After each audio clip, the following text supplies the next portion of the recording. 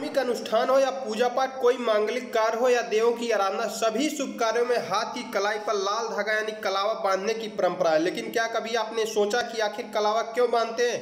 आखिर इसकी वजह क्या दरअसल कलावा कच्चे सूत से तैयार किया जाता है यह कई रंगों, लाल, पीला, केसरिया रंगों में होता है। शास्त्रानुसार कलावा बांधने से मनुष्य को भगवान ब्रह्मा, विष्णु व महेश तथा तीनों देवियों, लक्ष्मी, पार्वती एवं सरस्वती की कृपा प्राप्त होती है।